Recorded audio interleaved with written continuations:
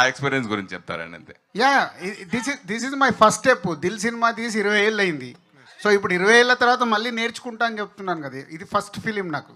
VFX three ఇది next లెవెల్కి ఇవాళ గ్లోబల్కి వెళ్ళిపోయింది మన ఈ సినిమా. త్రీ డీకి క్రెడిట్ మాత్రం దిల్రాజు గారిది కాదండి. శిరీష్ గారిది. ఆయన రషస్ చూసి ఒకటే మాట అన్నాడు. గుణశేఖర్ గారు ఇది త్రీ డీలో ప్రేక్షకులకు ఇవ్వాల్సిన కంటెంట్ ఉందండి ఇది. ఎందుకంటే ఈ అడవులు ఈ చెట్లు ఈ జంతువులు ఇవన్నీ హోల్ ఫ్యామిలీస్ ఎంజాయ్ చేస్తారని ఇంకా ఆయన ఊహ మీకు ఎలాంటిదో తెలుసు. ఆయన ఎప్పుడు డిస్ట్రిబ్యూటర్లతోటి ఎగ్జిబిటర్లతోటి ఉండే వ్యక్తి.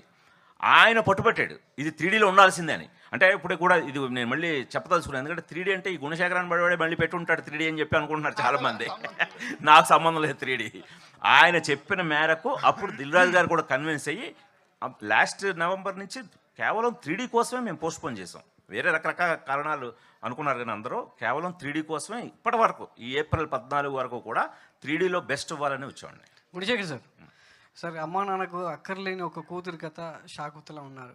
సో ఒక ఈ కథని మీ దగ్గరికి తీసుకొచ్చిన మీ కూతురు కోసం ఇంత ఇంత గొప్పగా ఈ సినిమాను మలిచారని చెప్పేసి కూతురు కోసం తర్వాత అండి ముందు నా కోసం. లేదు ముందు అంటే మీకోసం మీరు ఇంతకుముందు సినిమాలు తీశారు బ్లాక్ బస్టర్లు ఇచ్చారు అద్భుతమైన మళ్ళీ సినిమాలు ఇదే ఇచ్చారు. ఇక్కడ మేము అందరం సెల్ఫిష్లము గుణశేఖర్ సక్సెస్ఫుల్ ఉంటేనే కదా అదే కదా. రేపు కూతురికి ఇంకో సినిమా చేస్తాడు. అదే అది అంటే మీ అమ్మాయి అంటే ప్రొడ్యూసర్లో అంటే దిల్రాజ్ గారి సపోర్ట్తో ఈ సినిమా ముందుకు తీసుకురావడం సో ఎంతో కష్టపడి ఆ, బ- పెద్ద పెద్ద సెట్స్ వేసి విఎఫ్ఎక్స్ అంటే ఈ- ఈ- తీసుకురావడం అనేది అంటే- ఈ అంచనాలను ప్రేక్షకులు ఎంతవరకు అందుకోగలరు? మన ఉన్న కథ అంటే ఖచ్చితంగా అంటే కథ అర్థమైంది. మీ. క్వశ్చన్ అర్థమైంది.